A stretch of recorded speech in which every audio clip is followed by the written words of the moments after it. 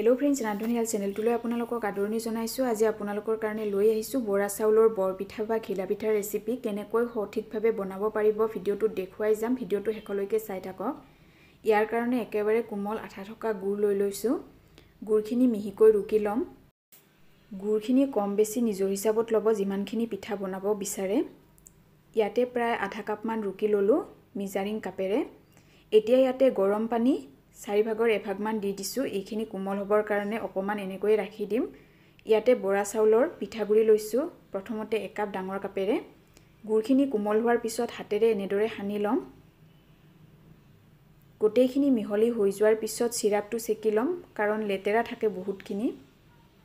আপোনালোকে গুড়টো অলপ গৰম কৰিও ল'ব পাৰে যদি সোনকালে গলি নাযায়। কিন্তু আঠা হোৱালৈকে এইটো গৰম কৰি নাথাকিব। তেতিয়া পিঠাকেইটা ভাল নহয় অলপ নিমখ দি দিছোঁ। গুড়খিনি ঠাণ্ডা হোৱাৰ পিছত ইয়াতে দি দিম অলপ অলপকৈ মিহলি কৰি চাই ল'ম। কাৰণ লগে লগে খুন্দা পিঠাগুড়িটোত বহুত বেছি পানী নালাগে। আৰু চিৰাপটো মিহলি কৰোঁতে বহুত বেছি পানী নিদিব নহ'লে মিঠাটো বেছি নাহিব। চফ্ট ড'ভ এটা বনাই ল'ব লাগিব। দেখুৱাইছোঁ আপোনালোকক কেনেকুৱা হ'ব লাগিব ড'ভটো। যদি হাতত লয় তেতিয়াহ'লে তললৈকে এনেদৰে বৈ পৰা হ'ব লাগিব। এইটো প্ৰায় দহৰ পৰা পোন্ধৰ মিনিট সময়ৰ কাৰণে ৰাখি দিম ঢাকন মাৰি। ইয়াতে বিছ মিনিটমান পিছত দেখুৱাইছোঁ আপোনালোকক। এইখিনি এবাৰ মিহলি কৰি চাই ল'ম। যদি শুকান হোৱা যেন পায় তেতিয়াহ'লে পুনৰ পানী মিহলি কৰি চাই ল'ব পাৰে।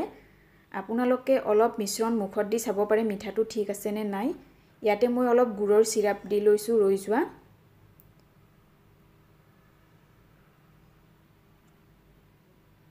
কাৰণ মিশ্ৰণখিনি বহুত বেছি কোমল হ'ব লাগিব তেতিয়াহে পিঠাকেইটা ধুনীয়াকৈ ফুলি উঠে। দেখুৱাইছোঁ কিমানখিনি কোমল হ'ব লাগিব। এইটো ৰেডি হৈ গ'ল। কেৰাহী এটাত মিঠাতেল গৰম হ'বৰ কাৰণে ৰাখি দিছোঁ। তেলখিনি মিডিয়াম গৰম হ'ব লাগিব। হাতত তেল সানি লৈছোঁ যাতে পিঠাখিনি লাগি নধৰে। এতিয়া অলপ অলপ মিশ্ৰণ লৈ পিঠা বনাই যাম। তেলটো কিন্তু বহুত বেছি ঠাণ্ডা হ'লেও পিঠাকেইটা সোনকালে ফুলি নাহে। এয়া প্ৰথমখন পিঠা বনাই চাই ল'লোঁ। গেছৰ ফ্লেমটো মই ইয়াতে মিডিয়ামত ৰাখিছোঁ। অলপ সময়ৰ পিছত ওলোটাই দিব। যেতিয়া এটা ছাইড অলপ অলপ ফুলি আহে তেতিয়া আনটো ছাইডে আৰু এবাৰ ওলোটাই দিব। তেলটো বেছি গৰম হোৱা নাছিল বাবে পিঠাখন নুফুলিল। পুনৰ হাতত তেল সানি লৈছোঁ। আৰু পিঠাকেইখন পাৰিলে আপোনালোকে ভিডিঅ'টোত দেখুওৱাৰ দৰে আঙুলিতে বেলি ল'ব। তেতিয়া দিবলৈ সুবিধা হয় বেছি আঠা লাগি নধৰে। এটা ছাইড এক মিনিটমান ভাজিবলৈ ৰাখি দিব। যেতিয়া অলপ বগা হৈ ওপৰলৈ উপঙি উঠে লগে লগে ওলোটাই দিব। এয়া দেখিছেনে অলপ অলপ বগা হোৱাৰ পিছত ওলোটাই দিছোঁ। আৰু জেলনাখনৰ সহায়ত তেলটো এনেকৈ দি দিব। যেতিয়া অলপ অলপ ফুলিবলৈ লয় তেতিয়াহ'লে লাহেকৈ এনেদৰে হেঁচি দিব। জোৰকৈ হেঁচি নিদিব লাহে লাহে হেঁচি দিলে এইটো ধুনীয়াকৈ ফুলি উঠে। এইটো ফুচকাৰ নিচিনাকৈ ফুলি উঠিছে আৰু মিডিয়াম ফ্লেমতে ৰঙচুৱা হোৱালৈকে ভাজিলোঁ কাৰণ ভিতৰতো যাতে ভালদৰে সিজি যায়। প্ৰথমটো পিঠা হৈ গ'ল। আৰু এখন বেলি দেখুৱাইছোঁ আপোনালোকক। গেছৰ ফ্লেমটো কিন্তু মিডিয়াম আৰু ল'ৰ মাজত ৰাখিছোঁ। এইটো পদ্ধতিত পিঠা বনালে পিঠাকেইটা বহুত সময়লৈকে ফুলি থাকে আৰু এইটো কোমল হৈ থাকে। আৰু পিঠাকেইটা কিন্তু বনোৱাৰ পিছত ইটোৰ ওপৰত সিটো গৰম থাকোঁতে নথ'ব লাগি ধৰে আৰু চেপেটা হৈ যায়। ঠাণ্ডা হোৱাৰ পিছত একেলগত থ'লেও কথা নাই। যেতিয়া পিঠা দুখন অলপ অলপ ফুলি উঠে দুয়োটা ছাইডৰ পৰা তেতিয়াহে অলপ অলপ হেঁচি দিব। প্ৰথম অৱস্থাতে যদি এইটো হেঁচি দিয়ে তেতিয়াহ'লে পিঠাকেইটা ফুলি নুঠে।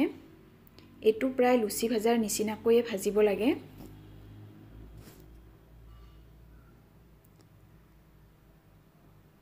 এয়া ৰঙচুৱা হৈ গ'ল। ইয়াতকৈ বেছি ভাজিলে পিঠাকেইটা কিন্তু টান হৈ যাব গতিকে অলপ অলপ ৰঙা হোৱাৰ লগে লগে নমাই ল'ব।